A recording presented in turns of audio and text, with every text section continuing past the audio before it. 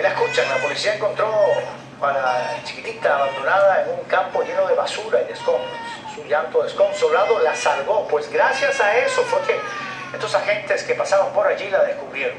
La pequeña de un año había desaparecido junto con su abuelita y la ven, a ella la hallaron muerta en otro campo el fin de semana. El padre de la niña, que vive en Estados Unidos, regresó de inmediato a México para reencontrarse con ella.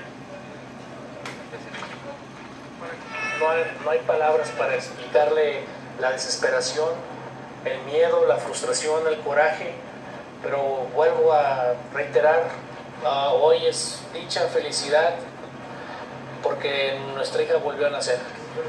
El padre también dijo que planea quedarse en México para hacerse cargo de la bebé. Si las familias migrantes